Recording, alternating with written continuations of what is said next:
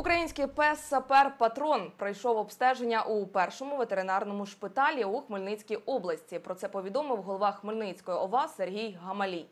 Посадовець також відзначив, що собака жива легенда ДСНС, яку треба берегти. З патроном все добре, і він вже скоро відправиться на службу. Усім же українцям нагадаю, ви потрібні державі, потрібні здоровими та сильними. Тож при можливості проходьте медичне обстеження вчасно. Патрон на своєму прикладі показує, що лікарі не кусаються.